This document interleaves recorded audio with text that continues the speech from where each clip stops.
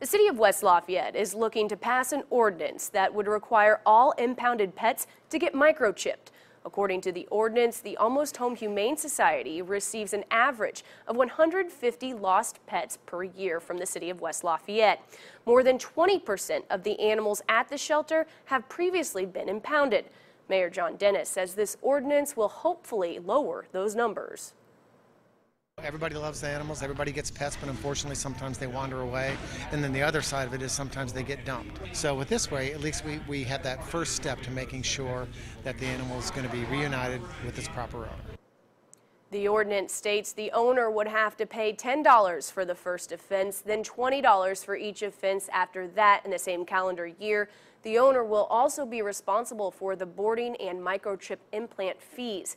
The council will vote on this measure at the meeting on Monday.